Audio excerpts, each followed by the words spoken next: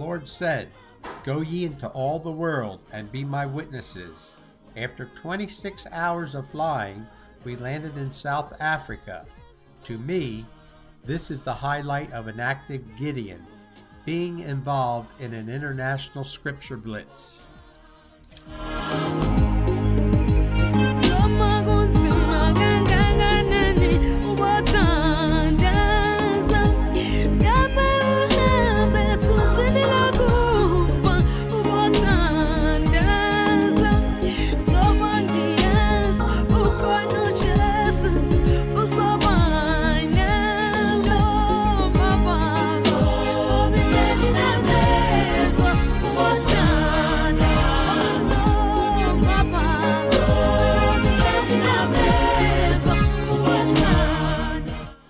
The country of Lesotho is very poor.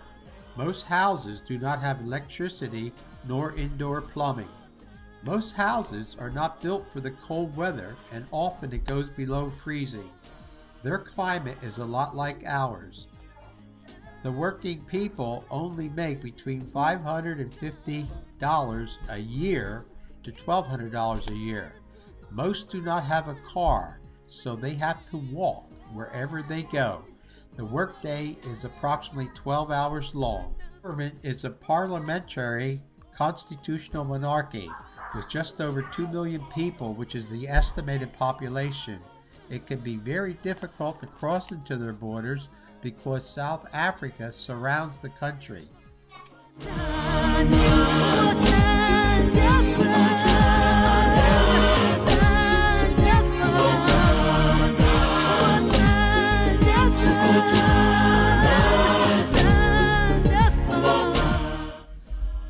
Clovis. He had just moved into his new home. He wanted to show it to me. He had shown me his kitchen where they boil the water and store it in 30 gallon drum in the corner. Clovis drank three large glasses while we were there, and I said, You are really thirsty, aren't you? He said, Not really. He says, My belly is empty, and that way I don't have to eat so much food.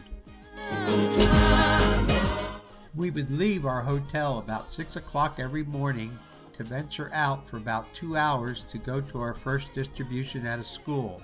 When we were there, the children would be out in the courtyard waiting for us. The headmaster allowed us to talk to the children. We told the children who we were and why we were there. We also told them how important they were to the future of their country. However, they needed a good foundation, and that foundation was Jesus Christ, and we were there to give them God's Word. Bible comes alive. The cattle of a thousand hills are mine. The mind goes so fast you don't even remember the books where they are mentioned. You look again to see the sheep across the hillside with their shepherd. Jesus told Peter repeatedly, Feed my sheep. My new friend Peter and I were driving on a land without road to locate to feed God's children, the Lesotho children. They are very hungry, both physically and spiritually. They seem to know that God is important and want to know more about Him. Bible verses go on, they fly through your head so fast. Romans 10 For whosoever shall call upon the name of the Lord shall be saved. And the verse goes on How will they call on him in whom they have not believed? And how shall they believe in him if they have never heard? With the same breath, I would wonder. I could have stayed home and just gave the money to buy more testaments.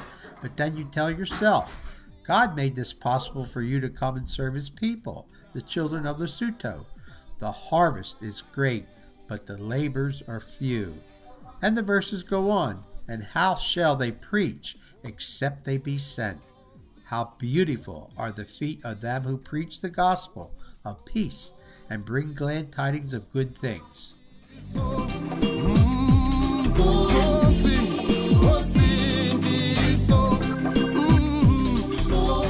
Our team was made up of eight Americans and one from England and one from Australia, eight from South Africa, and 10 local Lesotho Gideons. We divided into 10 teams, which consisted of a local Gideon as the interpreter, a driver, and a visiting Gideon.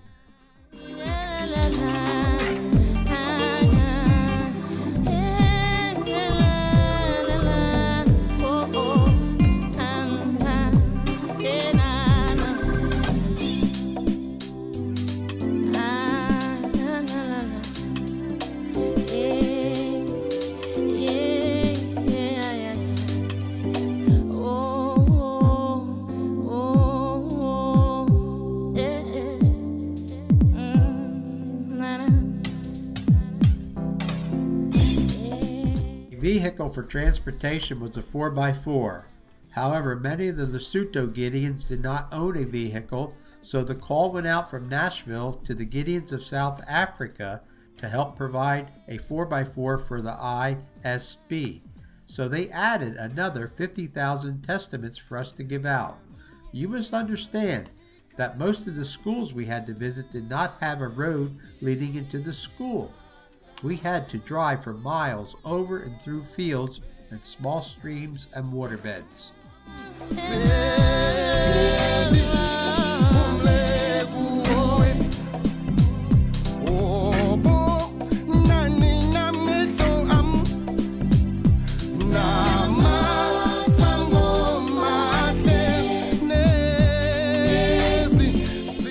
Lady headmaster looked in disbelief at us. She said, How did you find us? No one ever comes out here. Who are you? I must tell you, we traveled about an hour off a paved road to find this school. They all welcome you with a smile when you tell them you brought them God's written word and would like it given to the fourth, fifth, sixth, and seventh graders of their school.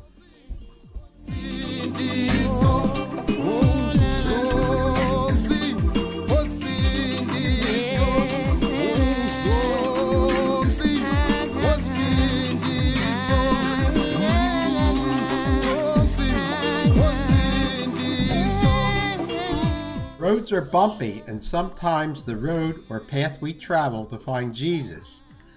These paths are dusty, uneven, and the walk is miles and miles each day for these precious little children and their teachers. God has blessed America with so much, so much more than anyone else, and I truly believe that He is watching you and I that we will do what we can with the blessings He has given us.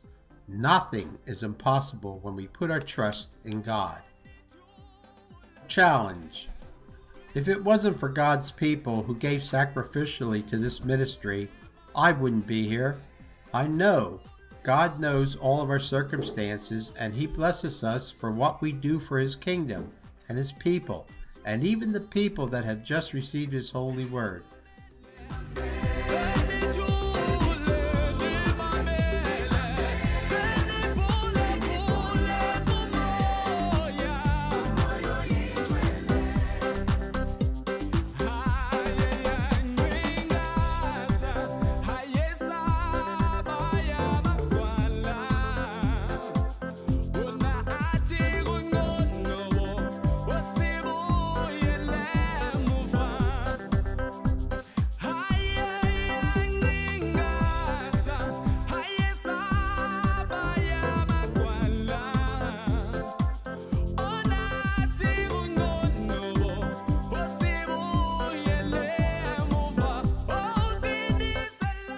God is love. You can see the love and appreciation on their faces as they smile and cup open their two hands to receive their own testament.